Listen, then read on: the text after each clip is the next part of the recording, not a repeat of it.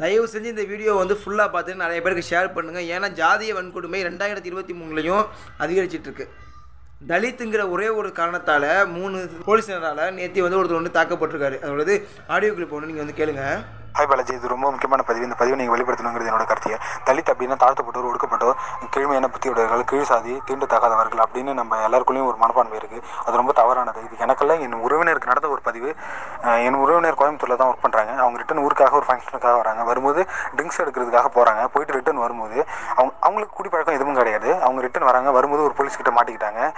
மாட்டும் போது அந்த போலீஸ் என்ன பண்ணுறாங்க அவங்கள்ட்ட இந்த தௌசண்ட் ஃபைவ் ஹண்ட்ரட் காசையும் வாங்கிக்கிட்டு அவங்கள்ட்ட இந்த ட்ரிங்க்ஸையும் வாங்கிட்டு பியர் பியரை வாங்கிக்கிட்டு அவங்க அவங்கள எல்லாருக்கு முன்னாடியும் அனைவர் முன்னிலை முன்னிலையிலும் அவங்கள வச்சு ஒரு கேள்வி முன்னெடுத்துறாங்க நீ என்ன கேஸ்ட் அப்படின்னு?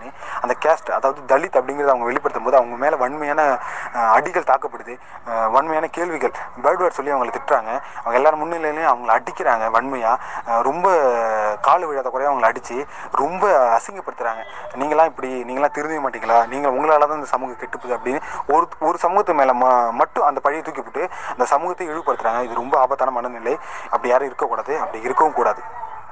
தேங்க்ஸ் நேற்றுக்கு வந்து எங்கள் அண்ணனுக்கு வந்து இதுமாரி நடந்திருக்கு பாலாஜி. இதை வந்து தயவு செஞ்சு வந்து இதை ஷேர் பண்ணுங்க. அப்படின்னு சொல்லி அந்த நண்பர் வந்து என்கிட்ட சொன்ன அப்போ அதனால நான் உங்கள்கிட்ட வந்து இதை வந்து தெரியப்படுத்தியிருக்கேன். இந்த சம்பவம் வந்து எங்கே நடந்திருக்குன்னா மயிலாடுதுறை மாவட்டம் திருக்கடையூர்கிட்ட இருக்க சந்தனமங்கலுங்கிற ஏரியாவில் தான் வந்து நடந்திருக்கு.